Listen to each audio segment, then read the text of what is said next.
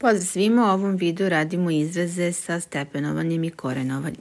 Dakle, imamo prvi primjer a puta, pa sad imamo ovu okviru zagrade. Kada imamo neki razlomak na negativan stepen, dakle samo ga okrenemo i stavimo na taj isti pozitivni stepen, pošto je na minus 1, to će biti na prvi.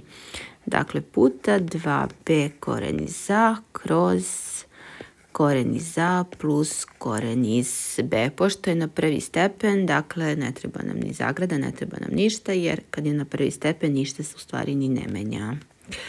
Plus b puta, dakle isto to imamo i ovde, pa će biti 2a koren iz b kroz koren iz a plus koren iz b. I ovo je dalje jednako. Dobro, dakle množenje ima prednost, sa ovim množenjem dakle ništa posebno se neće desiti, samo ćemo ovo a ubaciti gore u brojilac, dakle 2ab koren iz a kroz koren iz a plus koren iz b plus isto imamo to i ovdje 2ab koren iz b kroz koren iz a plus koren iz b.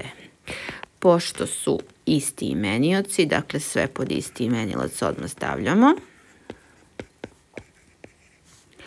I gore imamo 2ab koren iz a plus 2ab koren iz b. I ovo će dalje biti jednako. Gore u brojevcu mogu da izvučem zajedničko, dakle 2ab ispred zagrade, pa mi u zagradi ostaje koren iz a plus koren iz b, pa kroz koren iz a plus koren iz b. To se skrati ovdje 1, ovdje 1, što znači da je naš konačni rezultat 2a B. I ovim smo rešili ovaj prvi primer.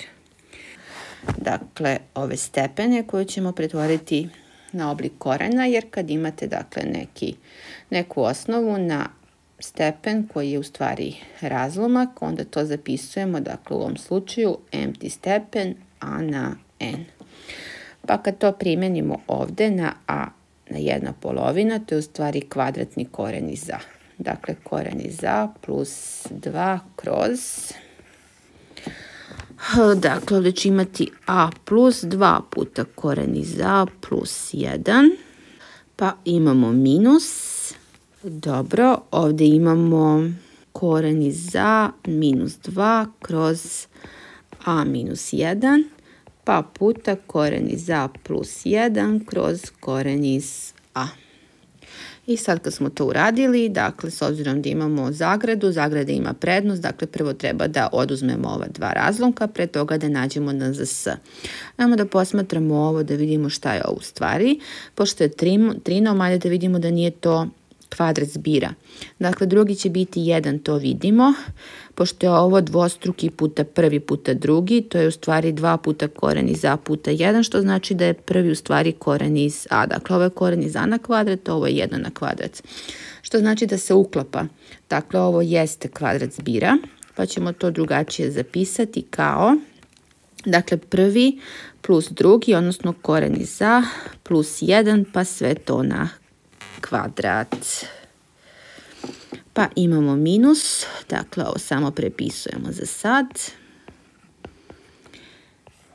Puta koren iz a plus 1 kroz koren iz a. Dakle, ovdje sad tražimo NZS.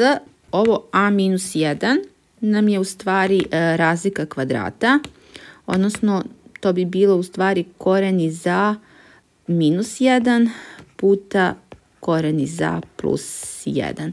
Što znači da ovo koren iz a plus 1 pa na kvadrat već ovo sadrži. Pa sad možemo to zapisati na više načina. Jedan od njih je, dakle, pošto ovo sadrži, možemo zapisati kao a minus 1 puta koren iz a plus 1. Ili možete zapisati kao koren iz a plus 1 na kvadrat pa puta koren iz a minus 1. Dakle, sve jedno kako ćete zapisati. Ajmo mi ovako, a minus 1 pa puta, dakle, pošto smo ovo i ovo već zapisali, dakle, fali nam samo još jedno, pošto smo jedno već upisali, ovo koren je za plus 1, dakle, ostalo nam je samo još jedno da dodamo. U drugom slučaju biste pisali koren iz a plus 1 pa na kvadrat i dodali biste ovo koren iz a minus 1. Dakle, sve jedno kako god da zapišete, nećete pogrešiti. I sad, ovaj prvi, dakle, vidimo da treba da se proširi sa koren iz a minus 1. A ovaj prvi treba da se proširi sa ovim jednim koren iz a plus 1 koje nam fali. Pa onda imamo koren iz a minus 1 puta koren iz a plus 2 prepisujemo, minus, dakle ovdje smo rekli sa koren iz a plus 1 puta koren iz a minus 2 i puta koren iz a plus 1 kroz koren iz a. I sad ovo je dalje jednako. Ovo ćemo gore sad sve iznožiti. Koren iz a puta koren iz a to je a. Koren iz a puta 2 bit će plus 2 koren iz a. Pa imamo minus 1 puta koren iz a, minus koren iz a i minus 1 puta 2, minus 2. Pa imamo minus, otvorimo zagradu baš zbog tog minusa. Koren iz a puta koren iz a je a, koren iz a puta minus, znači minus 2 koren iz a. Koren iz a puta, dobro to smo završili, sad imamo 1 puta koren iz a, to je plus koren iz a i 1 puta minus 2, to je minus 2. Zatvorimo zagradu puta koren iz a plus 1 kroz koren iz a i ovaj dole imenilac proširujem, ovaj prepisujemo. Usput smo mogli i ova dva da skratimo, pošto vidimo da su potpuno isti. A ja to tek sad primetila.